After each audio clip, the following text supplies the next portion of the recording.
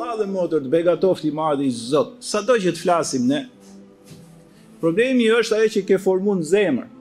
Ore mund të ketë oratorë të mëdhej, mund të bëjnë si dijetarë të mëdhej. Mund të bëjnë sikur kanë arrit çdo gjë në këtë botë. Problemi është a ke formu diçka në shpirt dhe në zemër, se do vi dita ajo do dalë. Ti mund të flasësh e mund të vishesh e mund të rregullohesh e mund të bësh sikur po kap qiellin me dorë. Ke mashtru veten në qoftë se nuk ke formu në shpirt dhe në zemër dhe në mendje një islam të duhur. Alam tara an Allah daraba mathalan kalimatan tayyibatan ka shajaratin tayyibatin. A e ke parë shembullin, kjo nga shembujt më brilantë të Kur'anit.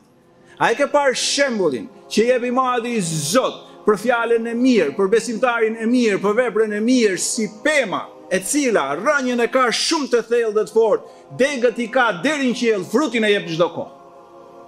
Ky është muslimani i Kuranit dhe, dhe muslimania e Kuranit. Çfarë do thotë? rrënjët i ka thellë, pra besimin e ka shumë të fortë, shpirt e zemër, nuk ja shef njeri, në ditë të vështira del ajo.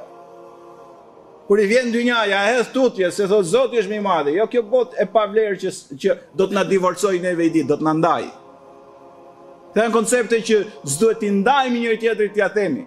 Wa tawasau bil haqqi wa tawasau bis sabr. E, e këshillojnë njëri tjetrin muslimanët dhe muslimanet për të vërtetën, këto janë të vërtetat e mëdha islame, që ne do ikim nga kjo botë, që ne s'do marrim asnjë gjë me vete dhe vetëm veprat e mira do na ndjekin. Dhe e këshillojnë njëri tjetrin për të qenë të durueshëm, Xheneti, kjo botë, dinjiteti, nuk arrihet pa durim.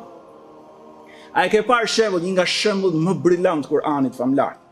A e ke parë shembullin që jep Zoti për njeriun e mirë, për fjalën e mirë, për veprën e mirë, si pema që rrënjët i ka shumë të thella dhe të forta, degët i ka deri lart në qiell dhe frutin e jep çdo kohë. Ti e ke parasysh? Ai që jeton në fshat e din më mirë që fruti ka stinën e vet, kurse besimtari i mirë është frut në çdo kohë, se në çdo kohë ai bën vepra të mira. Ky është niveli më i lartë i një besimtari dhe i besimtarëve sipas Kur'anit. Nuk është si puna frutit që është vetëm një herë në vit gjatë stinës që ka, është çdo çast. Këtë e vërteton Zoti nëpërmjet Isait alejselam, "Wa ja'alani mubarakan aina ma kuntu wa awsani bis salati waz zakati ma dumtu hayya." Isa alejselam, Jezusi që i thonë kristianët, ka thënë, "Më ka bërë Zoti të begatë në çdo çast."